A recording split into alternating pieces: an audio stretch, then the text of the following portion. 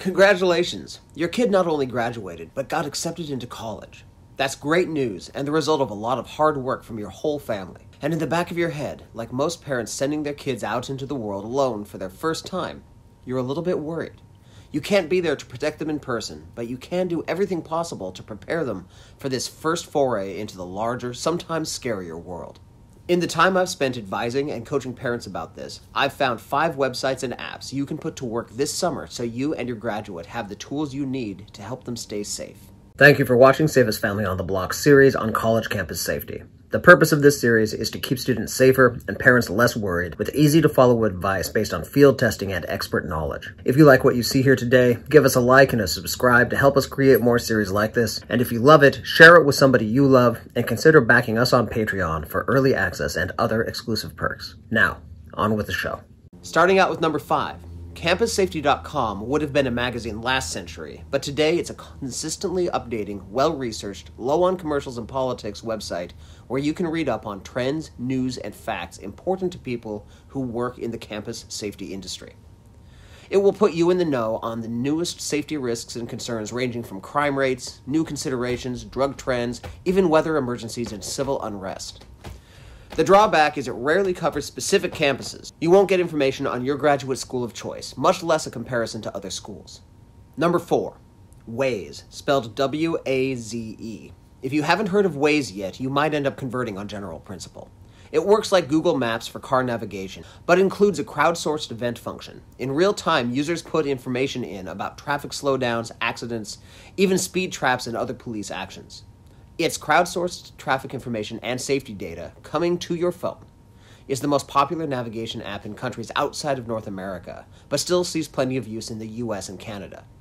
You can use it to scout the traffic, driving, and pedestrian situation for your grad's campus, their town, and the route from campus to home, whether that's a drive on the freeway or just to and from the airport. Waze is free to use and pays for itself with data and sales and ad support, which is, of course, the disadvantage of using Waze. But hey, that's, that's the drawback of almost everything we use online and on our phones these days. Number three, Google Maps and Google Earth. You know this one. You've used it for everything from planning a road trip to virtually cruising the pyramids, helping with a geography report, or checking on the homes of the people you know and like. But you can also use it to scout out campus and the surrounding neighborhoods. Just zoom in on maps, then shift over to Street View to look around. The thing is, you have decades of experience looking at neighborhoods and consciously and unconsciously assessing how safe they are. You've been doing this your entire adult life, and the chances are excellent you're pretty good at it. Your kid has also had their entire adult life to do this, but for them, that period's measured in days, maybe weeks. You can't go explore those streets and alleys with your kid, but you can give them a virtual look and make some preliminary assessments, which you can then share with them. Take it an extra step by researching which neighborhoods tend to be popular among students or are in between campus and popular night spots. You can do all of this for free. The biggest drawback is that Street View is almost always a daytime photo. I don't have to tell you how different neighborhoods can become during the night. Number two, Safe Explore. This is a risk assessment app that compares safety factors in a destination to the same safety factors where you live is intended for travelers, and its parent company is a favorite among professional bodyguards worldwide. But you can use its information to get a good rating of how safe a college campus is or isn't. It doesn't just check violent crime, but also health and accident concerns and issues for specific populations like, like LGBTQ plus travelers slash students or people with uncommon medical needs. Using Safe Explorer is free. It has an upgraded version that increases the number of searches you can do per day, but you're unlikely to need that unless you had triplets. The biggest drawback is they don't yet have information that drills down to the neighborhood level. You'll get a good sense of how safe the host city is, but not of campus versus the town overall. Before moving on to number one, here are two honorable mentions. Google Clery Act, C L E R Y Act, with the name of the college. The Clery Act requires all college campuses to publish an annual report of crime and safety so parents like you can read them and create accountability for student safety. Googling Clery Act name of college is the easiest way to find that page on the college website. You can usually go back several years and get a solid sense of a school's safety situation and whether it's getting better or worse. It's only honorable mention because it's not really an app or a website, more of a search technique. ZeroSafe is an upcoming safety app that allows location tracking, messaging, safety alerts, panic buttons, and all the trappings of most safety apps. But it adds to that a reporting feature that, upon hearing a code word, activates the camera and records everything until told to stop.